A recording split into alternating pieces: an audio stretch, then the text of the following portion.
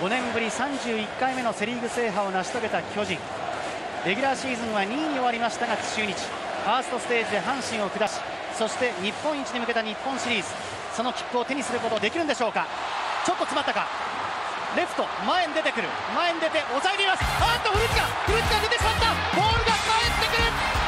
アウト古内に見つかりました。